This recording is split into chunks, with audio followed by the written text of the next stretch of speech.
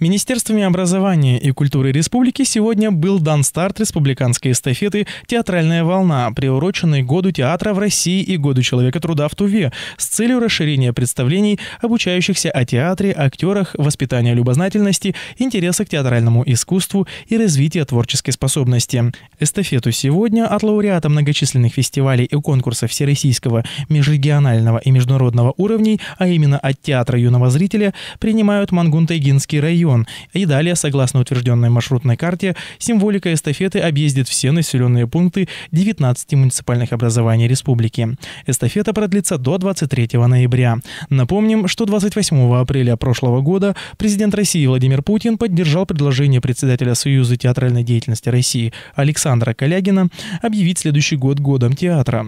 Год театра – это очень важное событие для культурной жизни страны, для формирования общественного сознания.